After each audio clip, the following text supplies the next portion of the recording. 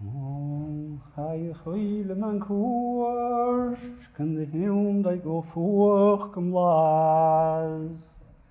Na chum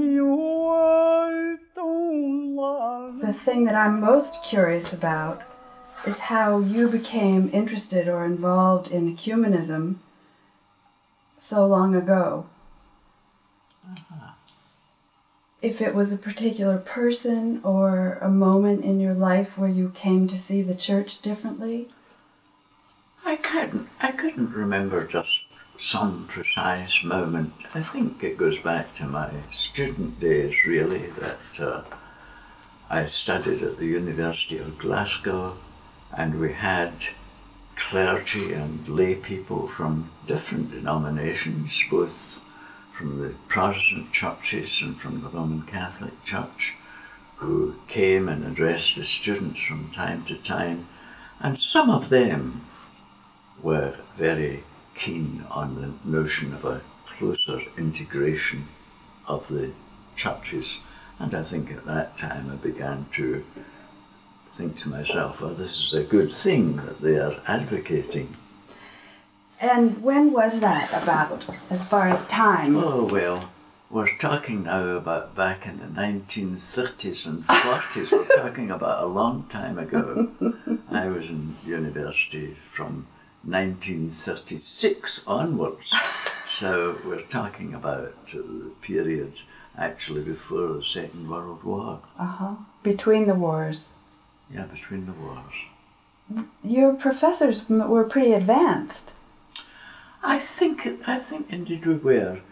I was writing a book two or three years ago, and uh, I mentioned in the preface that we not only were taught to look at other forms of Christianity, but in our seminary schedule at Glasgow at that time, you could take courses in non-Christian religions. Really? In fact, I took courses in both Islam and Buddhism.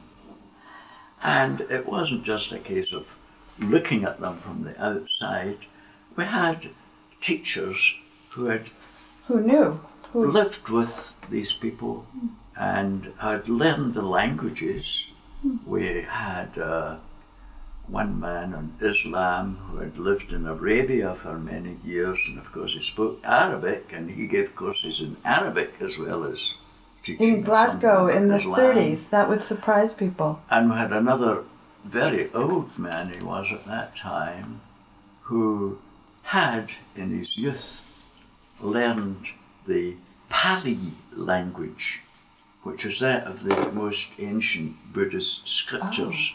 Pali is Oh, a, Pali. a form yes. of it's I- a form the- of Sanskrit, yeah, a more popular kind of Sanskrit. And he had been into all that and was able to get people interested. So that, as I say, we were not only trying to learn something about religions other than the rather, uh, shall we say, narrow variety that you could find in Scotland in those days. also, we were learning something about uh, non-Christian religions. That's become very fashionable recently, Right. but in those days, Yeah. it was very unusual. Why do you think it was the case there? Do you think there was some um, leadership, even maybe during the First World War, that gave a. Well, that's possible. That was before my time, of course. uh-huh. Uh, sometimes people think I've been in the First World War and so ancient, but actually I was born in 1919, which was the year after it finished. But certainly at that time there must have been stirrings. And of course, there was an American philosopher whose name just escapes me at the moment. I could find it uh, before you go away if you want. But uh, he was very interested back, I would say, must have been teaching in the 1890s. Huh. He was very interested in getting Christians to learn about non Christian religions. Right. And he taught a doctrine of what he called reconception. Uh-huh. meaning that when you came in touch with some new system of belief, you found yourself rethinking some of the mm. things in your own mm-hmm. and really establishing a kind of dialogue in which mm-hmm. there is both mm-hmm. a giving and a taking.